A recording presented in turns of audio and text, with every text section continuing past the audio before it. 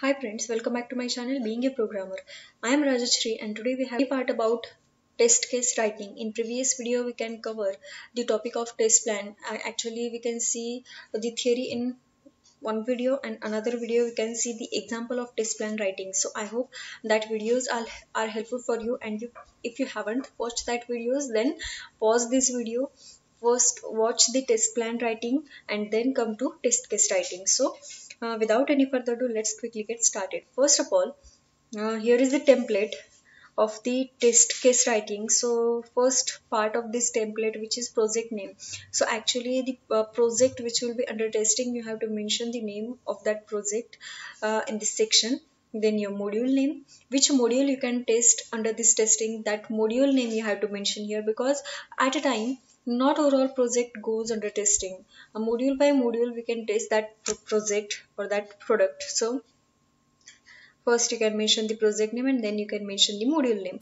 Then created by the, who can design all of the test cases that designer or creator name you can mention here because uh, one person whenever the application is large at that time many persons are create designs uh, or, uh, sorry design the test cases or uh, um, another persons which are remaining uh, who will be execute all of these test cases. So this is necessary to mention who can design these test cases that creator name here.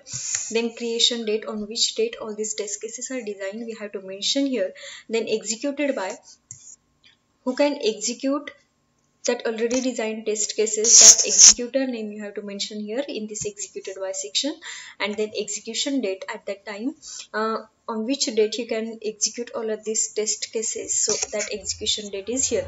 So this is the preliminary information about any testing uh, template uh, uh, any testing. Whenever you can start the testing this is the preliminary information you have to provide here. So this is basic things i hope you understood. Then actual the part which will be start of our testing or um, test case writing this will be here. This is the template and uh, in this template there are multiple things. So first of all first part which is test scenario id so which scenario of this module you can test here? That scenario you can provide some identifier and uh, that identifier should be unique. This is not compulsory to mention any predefined identifier or um, I said you to enter this identifier and that's why you can enter this identifier. No this is not a reason because uh, identifier is just for identification. So you can mention this identifier as per your choice. I hope you understood. Then what is the test scenario description. So the next part which is test scenario description and in this part you can mention the which test scenario you can describe here that scenario name or that uh, uh, you can describe about that scenario. So this is the test scenario description. And one more thing let me in the comment section if you want to watch the detailed video on the test scenario i'll make that video um, because so many persons are confused in between test scenario and test case. So please let me in the comment section if you want to know about test scenario what is the test scenario and what is the test cases differentiate or um, clear your scene about this test scenario and test case let me in the comment section. I'll do the another video based on this topic. So this is the test scenario id and this is the test scenario description. I hope you understood. Then the test case id what is the test case id so test case uh, remember one thing uh, for a single scenario you can design multiple test cases. This is not compulsion to uh, for single scenario you can design a single test case. No you can design multiple test cases. So uh, for this particular scenario how many test cases you can design? As per that you can mention the here test case id as, um, um, as similar as test scenario id you can give some identifier to scenario and that's like we can provide some identifier to test cases. So this identifier also um, as per your choice you can mention here uh, the basic example which is whenever we uh, we are in school or college at that time we can we have to provide our unique roll number because roll number identifies us uniquely right? But you can mention the id to your scenario or mention the id to your test case. So this is the identity uh, this id identifies your test cases uniquely or scenario uniquely. So this is the id then the next step which is test case description. In this you can describe actually what should you have to do uh, for the testing of that test scenario. That means the test case description. Suppose you can um, you want to log into some application. At that time you mentioned there we have to enter username and we have to enter password. This is the test case description. So you uh, you should tell here uh, you have to provide the valid username and password or valid input data. And this is the test case description. You can describe the test case. Actually what type of input you can provide to your application. And that means you describe that in the test case description. Then test steps uh, the steps which are executed under this testing that all the steps are you have to provide it here in the test step. Then what are the precondition? Precondition means entry criteria and post condition means exit criteria. Uh, you can also tell me in the comment section if you want to detail video based on entry criteria and exit criteria. I'll make sure to do this video very soon. So precondition means uh, before start the execution of test case which steps are followed are known as precondition or which conditions are fulfilled.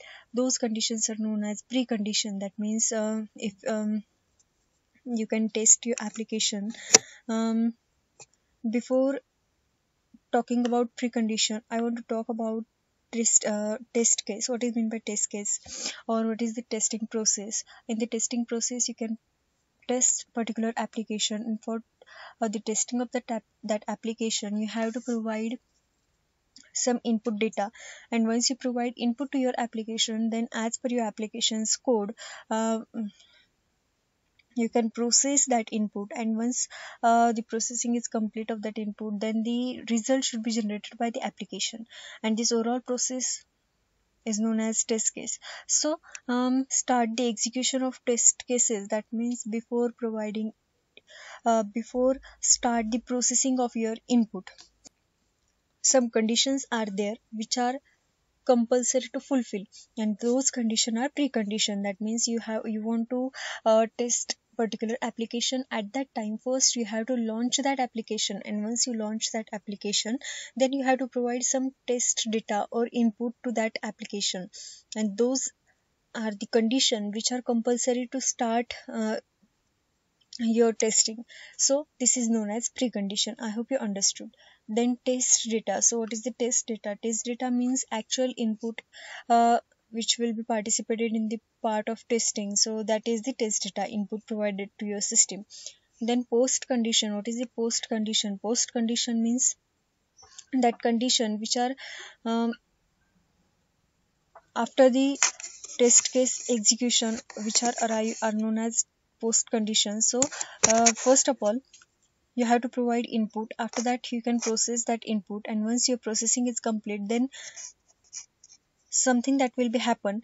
And that happening part which is the post condition that means when, whenever you can provide the username and password uh, you can provide username password then you have to uh, able to see the home page. So this is the post condition. We can provide some input. And once we process this input then this is the condition that, that will be achieved that will be arrived. It is known as post condition i hope you understood.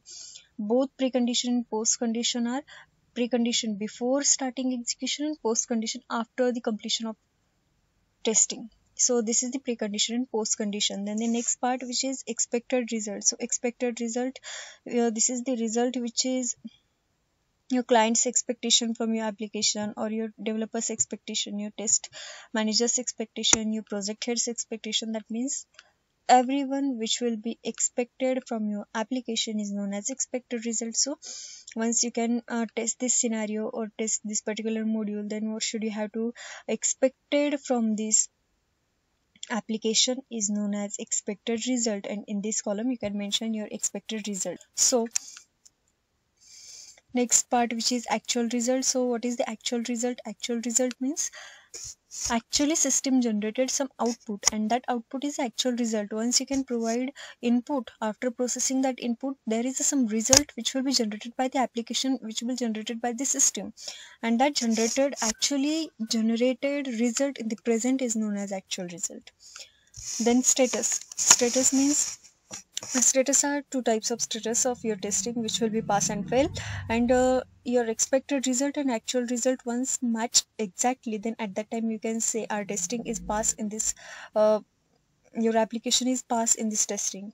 Uh, then the status of that particular scenario is pass. Otherwise it will be fail and in the comment section you can add some comments some remarks some questions about the code. Uh, anything else you can mention in the comment section which will you have to know or which will you want to uh, tell to your developer to uh, recover some uh, bugs uh, which are arriving in your system? You can also mention in the comment section. So this is all about the test plan uh, sorry test case template. I hope you understood this part. And if this video is little bit helpful for you please let me in the comment section as well as any suggestions any topics you want to uh, watch on our channel please let me in the comment section. I'll try to make the video on that topic also. Uh, as well as if this video is a little bit helpful for you please do like to this video. Also share with your friends and never forget to subscribe to our channel if haven't and hit the bell icon for such new videos. And one thing uh, this template is available in the description box i'll share with you google drive link. You can access that template from there and uh, download this template and then you can use your uh, this template for your uh, purpose. So this is for today. Thank you so much for watching